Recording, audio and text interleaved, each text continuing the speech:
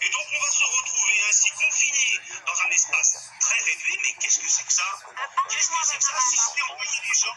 Pardonnez-moi, mais non. Emmanuel Macron, justement, n'a pas dit précisément que vous alliez vous retrouver à 35 dans 30 mètres carrés. Il a parlé d'aménagement, de protection des, des professeurs avec des masques, des aménagements. Euh, les Allemands le font, hein, l'envisagent comme ça, avec peut-être des petits groupes, euh, une journée sur deux. Enfin bref, c'est à, c'est à l'étude.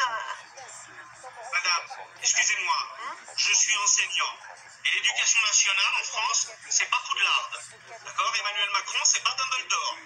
Je connais un peu la réalité de l'enseignement. On va les mettre où les gens? On va les mettre où les élèves? On va euh, claquer des doigts et tout d'un coup des salles de classe vont se créer Comment on va faire? Et les masques? On les attend depuis des mois. Dans trois semaines, il y aura des millions de masques pour des millions d'élèves